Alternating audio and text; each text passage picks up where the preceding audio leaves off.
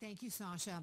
And a local Democrat and U.S. Marine veteran reacts to tonight's debate. He says the candidates only use the tactic of fear rather than of hope and optimism.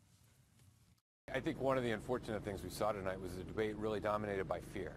Uh, and it's interesting how far the Republican Party has come from, from an era of Ronald Reagan, who could confront the threat of communism with a hopeful, optimistic vision that would bring us together. And tonight, I think what we heard a lot is fear and, and doom and gloom and division.